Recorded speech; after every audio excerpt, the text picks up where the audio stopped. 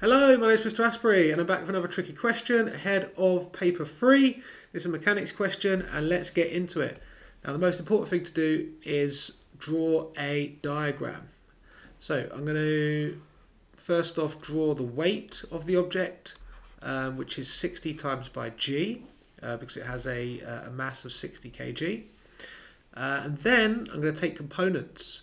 So what I'm going to do is I'm going to draw a line down like this and an arrow there and uh, it's important to note that this angle will always be the same angle as the slope.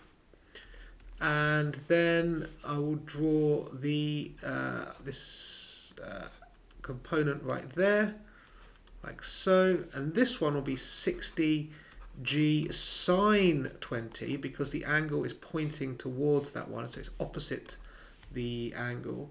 Uh, and the other one will be of course 60 g cos 20. Okay, lovely. Um, right, next thing to do is uh, find the components of the tension.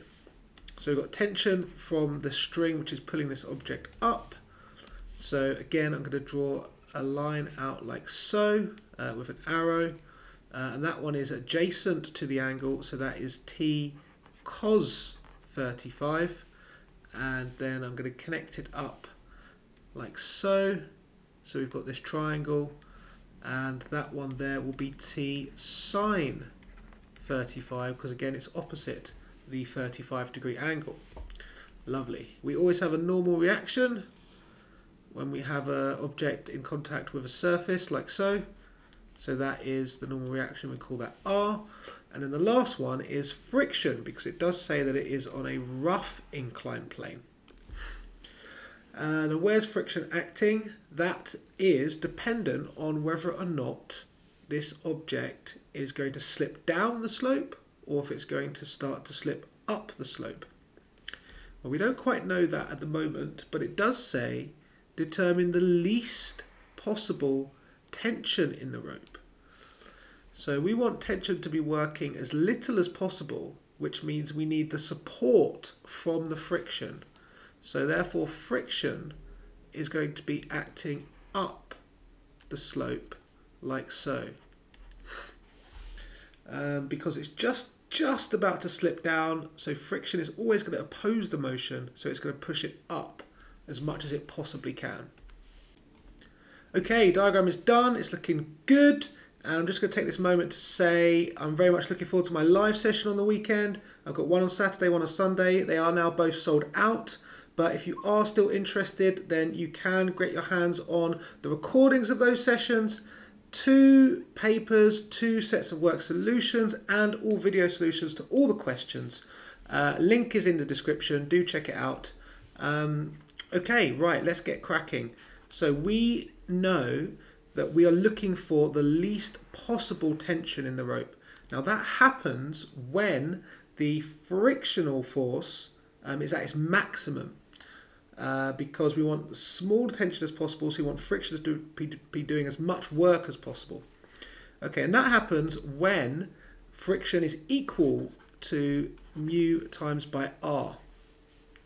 Uh, so in this case, that is 1 quarter times by r.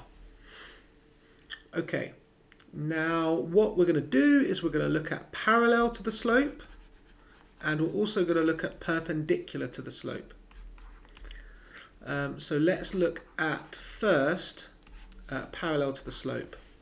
Now this object is in equilibrium which means the forces are balanced so the uh, the up the slopes should equal the down the slopes. So let's look first at the up the slopes. We've got T cos 35 and we have also friction as well um, which is the orange one but I'm just going to call that a quarter r like so. And we also and that is equal to uh, I'm not sure why these pens are so massive but I'm gonna have to go with it now. 60g sine 20 okay good. Uh, so what I'm going to do is I'm going to rearrange for r because I know eventually I'm going to want to eliminate r because I'm looking for the tension. Okay so rearranging for r I'm going to times through by 4 and I'm going to move um, the t cos 35 to the other side. So I'm going to get 240g sine 20 minus t cos 35. Oh no, I need to times that one by 4. Steady. Nearly got caught out there. Okay, lovely. Right, where should I do the perpendicular? I've not got a lot of space over there, so instead I'm going to do it over here, I think. Yes, let's do it there. Okay, perpendicular. Again, the uh, ups and the downs must equal because it's in equilibrium.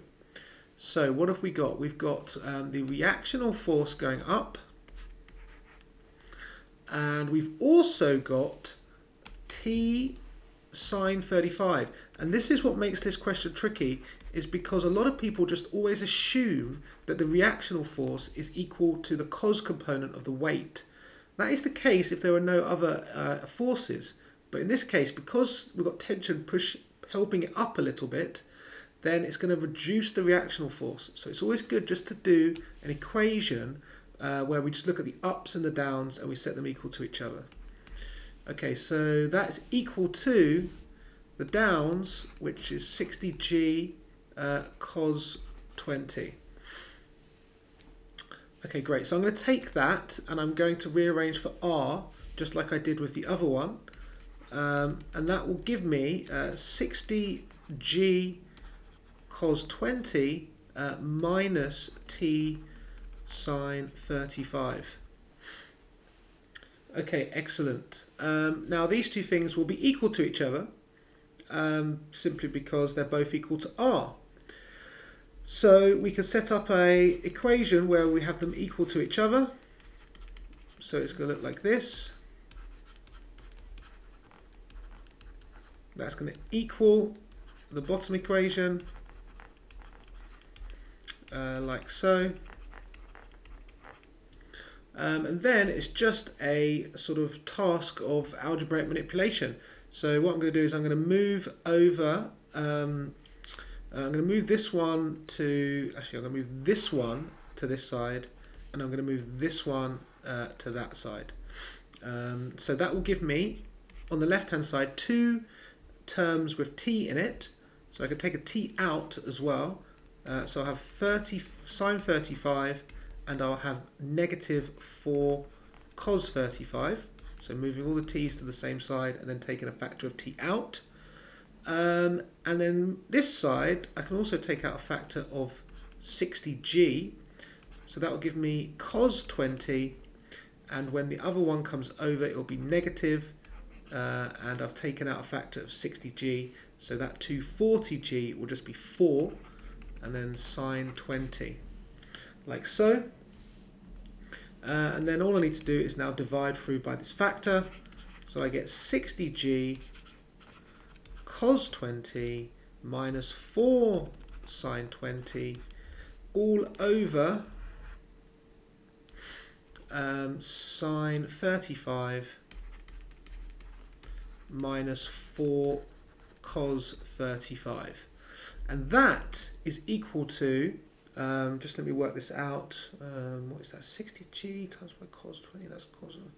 And that's minus 4 sine. That's over. And that is. Um, um, that is. I think that's about 93.1. I reckon, roughly. I don't know. I don't have a calculator, but I think that's about right. Okay, um, let me know if you got that right. Um, and again, if you want to see me do more applied content, then you've got my predicted paper version 1, which is on YouTube already. And then also, again, I've got my two live sessions, which you can get the recordings of, link in the description. Anyway, I hope Paper Free goes well, and I will see you later. Bye for now.